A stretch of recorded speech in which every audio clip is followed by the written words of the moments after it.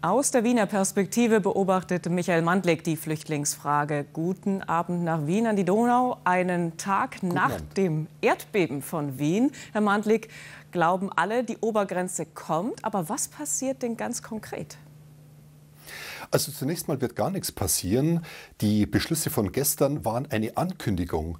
Und äh, in der Tat muss, diese, muss dieser Beschluss, müssen diese Ankündigungen erstmal juristisch überprüft werden. Das war ja auch etwas, was viele Politiker in anderen europäischen Ländern auch hinterfragt haben. Wie kann es sein, dass man einen Beschluss fasst und dann erst im Grunde die juristische Prüfung nachzieht? Aber so ist es.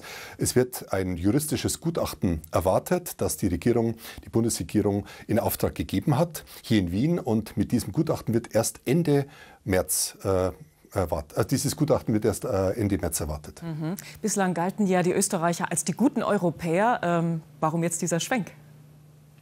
Also die Österreicher gehören nach wie vor zu den wirklich guten Europäern, denn kaum ein anderes Land wie Österreich, wie Deutschland, wie Schweden, wie Dänemark hat so viele Flüchtlinge aufgenommen, gemessen an der Bevölkerungszahl. Da gibt es andere Länder in Europa, die sich überhaupt nicht kümmern um dieses Problem.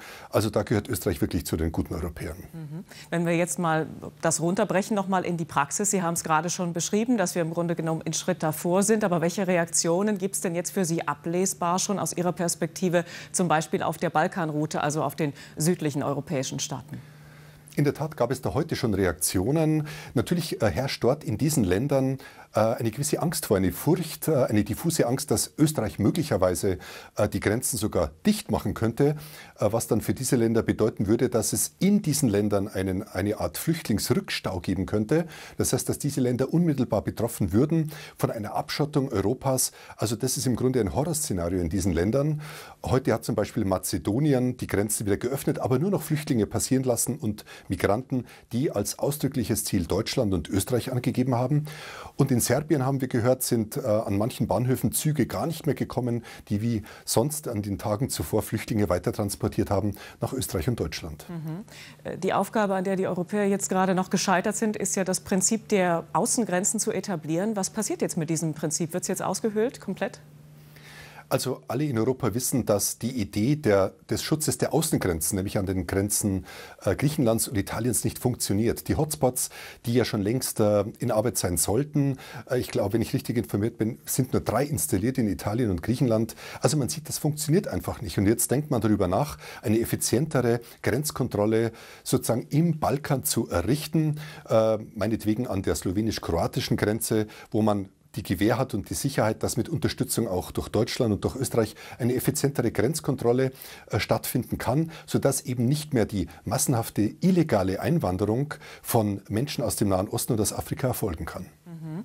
Noch im letzten September, wenn wir uns erinnern, war Bundeskanzler Feimann fest an der Seite der Kanzlerin. Welche Motivation hatte er jetzt für diese Ad-hoc-Entscheidung?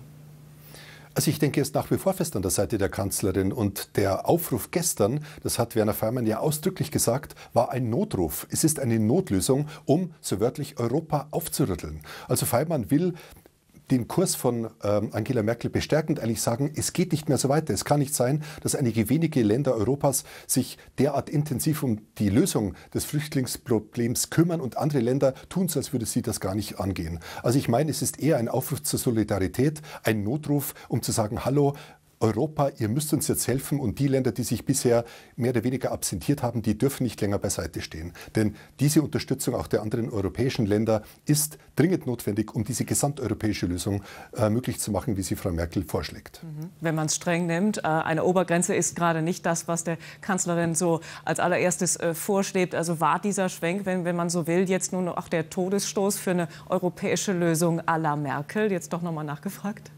Das glaube ich nicht. Ähm, wie gesagt, ähm, Werner Feimann hat nun versucht, sozusagen ein Signal zu setzen. Dieser Plan B, wie er es genannt hat, den Frau Merkel ja ablehnt. Aber der Plan B ist letztlich der Notruf, den man anführen muss, wenn man sagt, äh, aus nationaler Perspektive, aus nationaler Sicht in Österreich, es kann so nicht weitergehen. Und wenn wir nicht gesamteuropäisch reagieren, bleibt Europa gar nichts anderes übrig und den benachbarten Ländern als diesen Plan B, nämlich das im Grunde das größere Übel zu wählen, als diesen dann zu wählen. Also ein echter Notruf. Mhm. Ein Notruf aus Wien. Vielen Dank für diese Erläuterung. Danke, Michael Mandlik. Bitte sehr.